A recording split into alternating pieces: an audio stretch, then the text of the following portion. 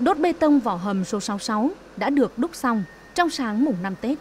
Khoảng thời gian ngắn để chờ bê tông ninh kết, bộ phận thi công chính tạm được nghỉ ngơi.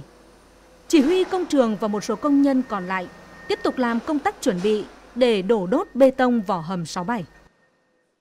À, dự kiến à, đốt đốt 67 thì ta chiều nay ta sẽ tháo hôm và tối 9 giờ đến 10 giờ ta sẽ đốt độ đốt 67. Thời gian đổ à, một đốt này qua đốt khác bao lâu?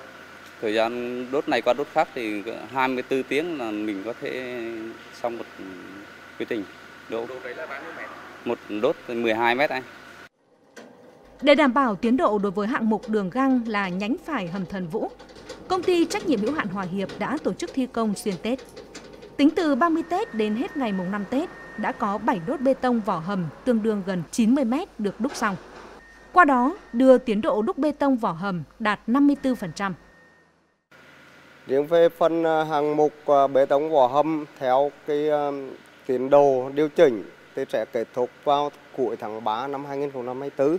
Thì hiện tại chúng tôi cũng đang bám sát cái tiến độ đề ra thì sẽ quyết tâm là hoàn thành đúng theo tiến độ là cuối tháng 3 năm 2024.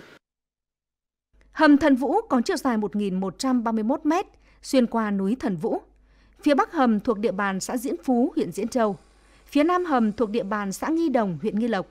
Trong đó nhánh phải do nhà thầu công ty trách nhiệm hữu hạn Hòa Hiệp thi công và đã thông hầm từ ngày 14 tháng 10 năm 2023. Do địa hình phức tạp nên hai đầu hầm phải thi công nhiều hạng mục cầu để đấu nối với đường tuyến chính. Theo hợp đồng thì à, thời gian thực hiện dự án đoạn Diễn Châu Bài Vọt sẽ đến à, ngày 22 tháng 5. À, hiện thì à, doanh nghiệp đầu tư cũng như các nhà thầu đang tập trung về tiến độ và có một điều chắc chắn rằng khi dự án này hoàn thành thì à, chúng ta sẽ cảm nhận được à, một cái cung đoạn rất là đẹp đó là đoạn Bắc Hầm Thần Vũ và Nam Hầm Thần Vũ. Hầm Thần Vũ thì nằm trong top 10 hầm dài nhất trên cao tốc Bắc Nam.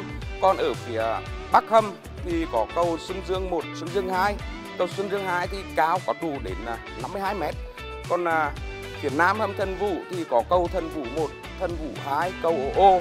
À, nó đi qua địa bàn rừng núi và các hồ đập cho nên là rất là đẹp.